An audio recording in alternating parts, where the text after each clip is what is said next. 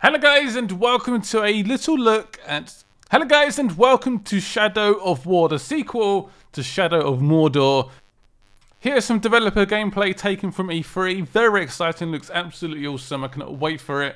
I think it got delayed until I think August. So it's coming out this year. It's coming out quite soon. I'm excited. I hope you guys are excited as well. Leave a like on this video and go ahead and enjoy the gameplay. Things that made Shadow of Mordor so cool and so award winning was its nemesis system. And what we've done with this game is we've taken that up a notch. And what, for those of you who don't know, the Nemesis system means that every orc you interact with changes based on those interactions. And it's a living, breathing society of orcs that over time can adapt and change to how you've interacted with them. And one of the big things we've done in Shadow of War is we've made it so not only do the orcs change, but so does the environment. So let's jump into the bleeding heart the bleeding, the beating heart. It's also bleeding. They're full of blood. Uh, the army screen. And the goal today, Ellie's goal today, is to take out that guy at the top. He is the overlord, and there you go. He is bleeding. Actually, that's our blood. That's human blood, because orc blood is black. Uh, this is Azgang the cannibal. Apparently now I know where he gets his blood from. He is the overlord and the ruler of this region and he has built an army to help defend his fortress.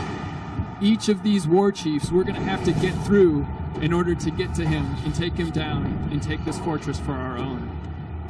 Luckily, we've spent a bunch of time with the new ring, and we've identified a number of Uruks and then dominated them and brought them over into our army. Each of the Uruks with the blue skulls above their head are members of our army, and we can pick and choose which ones we want to bring into battle with us as we try to take down this fortress. So let's do, uh, let's go do the fort assault. Oh, he looks cool.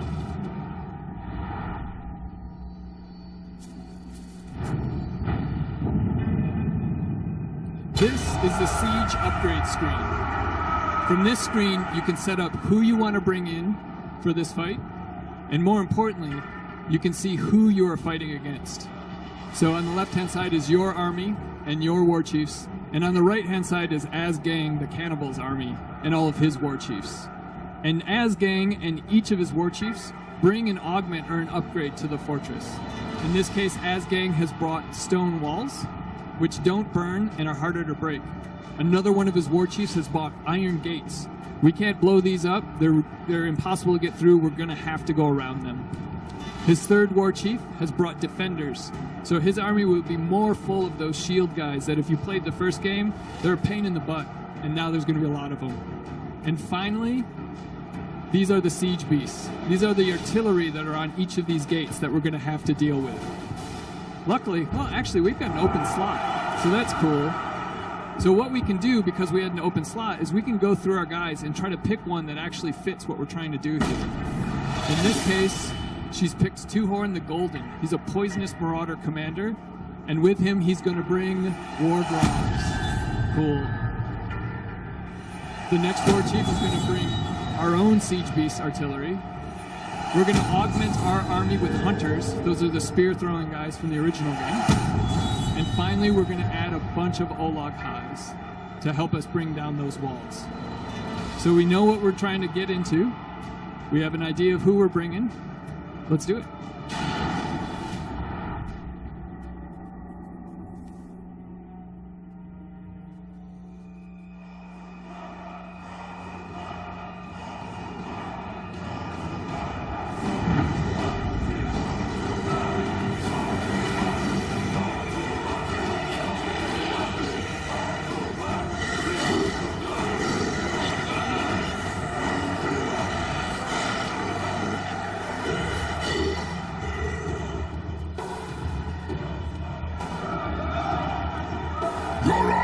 Does not scare us.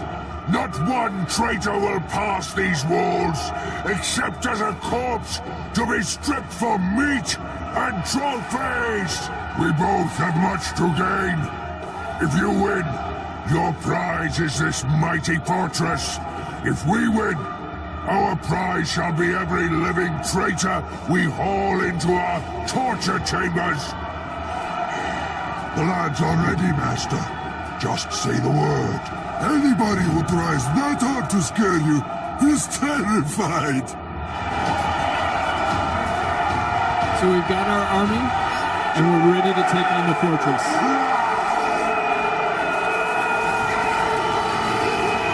So Ellie can approach this however she wants. The RAI will go and do their specific goal. They'll try to take down the walls, go over the walls. Ellie will try to support them. The goal is to try to get as many of them into the fortress as possible and to take the victory points.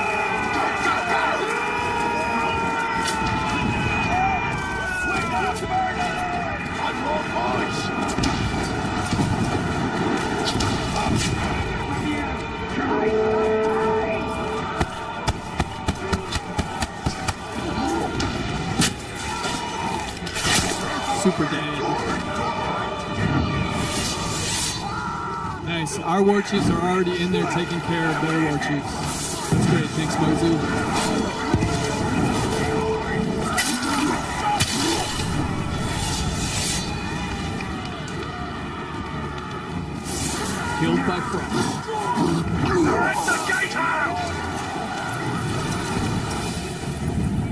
One of the major upgrades we've done with Shadow of War we, is we've added a complete gear and loot system. So each Uruk who dies, whether they're a captain, a war chief, or an overlord, will drop a piece of gear. And that gear is based on their level and their interaction with you. In this case, Mog the Biter dropped a rune for our ring, which adds maximum which adds a 9 maximum to our focus. That's our slow-mo meter. On, on top of that, each each ring that's epic or higher will let you get an unlock challenge or multiple unlock challenges, which make them even stronger.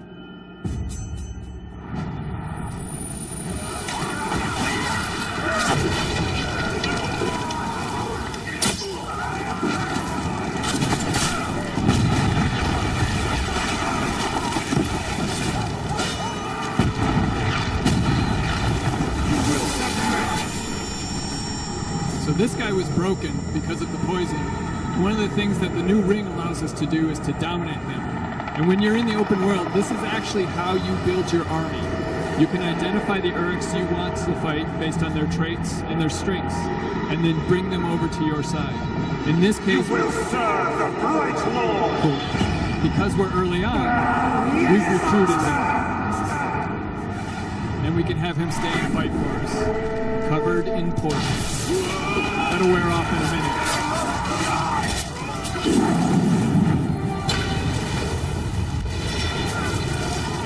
So we've captured the first victory point. Our army will move on to the second one. We can go support them.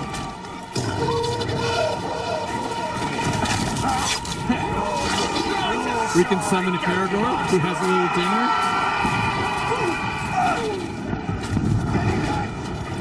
Super agile. They move pretty quickly through the environment. Plus mounted combat with the glaive.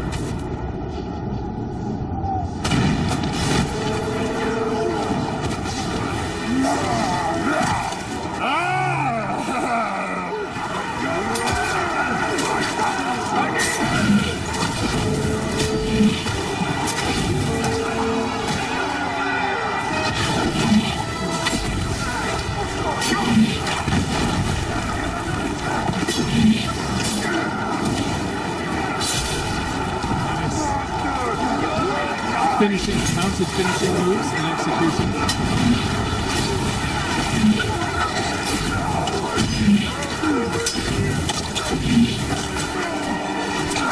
This is not how it's supposed to be! Next time you will be mine! Ranger! This fortress will not fall today, so says the great serpent. You're scaring him, not killing him! That's the war chief we need to take out for this victory. One of our war chiefs was down and bleeding out. By saving him, he'll remember that, and that'll be a part of his decision-making process in the future.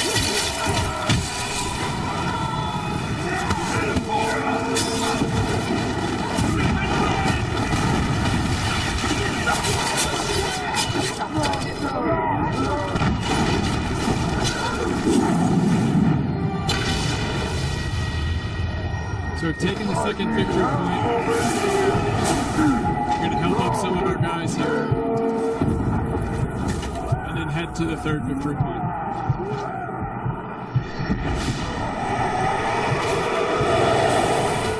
But first we're gonna recharge a bit. One of the powers that the ring gives us is the ability to drain the life from an orc and use it for ourselves.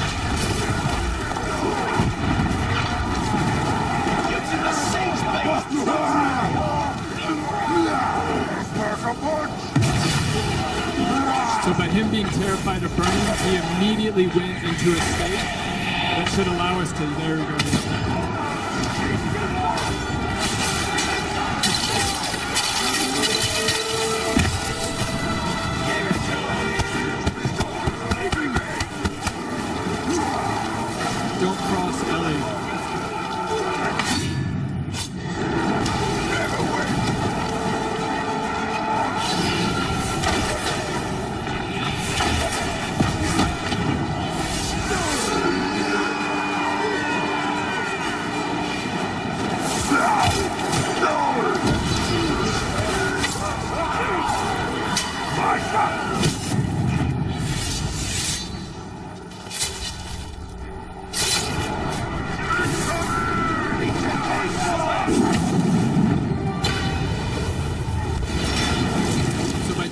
Third victory point, it opens up the inner keep. And all of our war chiefs are bleeding out. That took a lot out of our army, that's for sure.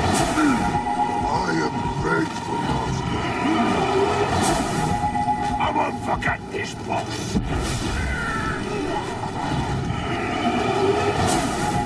We just upped a bunch of loyalty with our guys. That's going to be pretty awesome later on in the game.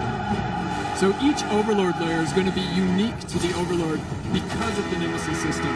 They had to make their way up through the ranks of Uruks, and in order to do that, it's changed who they are. And all of that interaction means that every time you play it, it's going to be different. Each of these mini boss battles will be unique to your playthrough.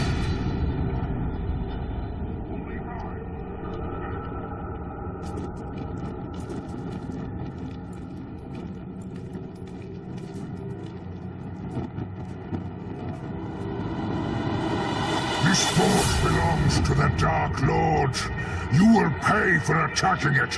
I swear this as a true warrior and servant of Sauron. Today you will serve him by dying for him.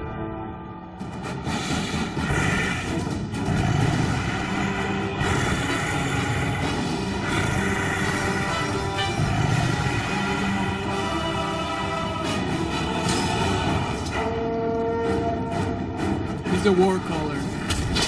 So basically, blowing that horn has brought more troops in and has buffed his troops.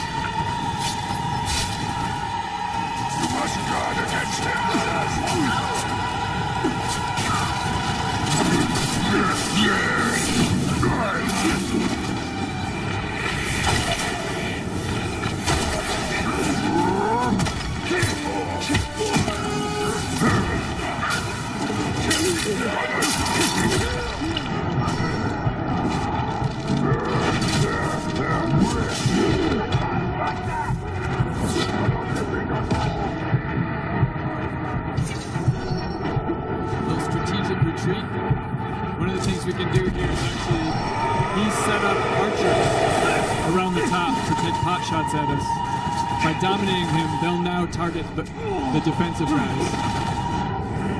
Plus, we get a little bit of health out of it.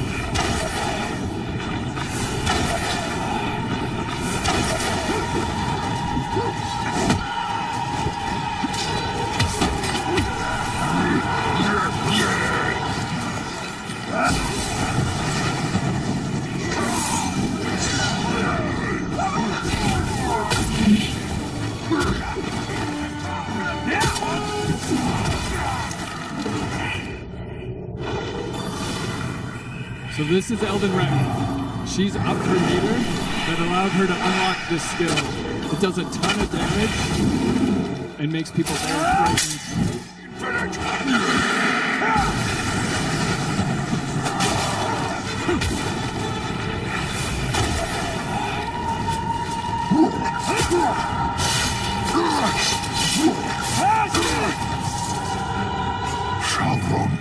Will avenge my death.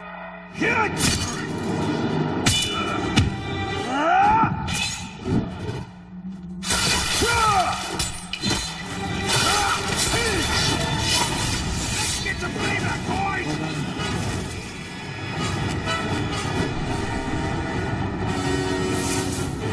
by defeating the Overlord, we have taken over his fortress, and this region of Mordor is now ours.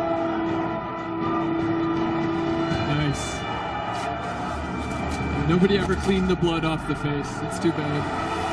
The end is within our grasp! We have shown the Dark Lord our strength! We have taught him the folly of challenging us! Now he knows that the Bright Lord and his army will not be stopped! Mordor will soon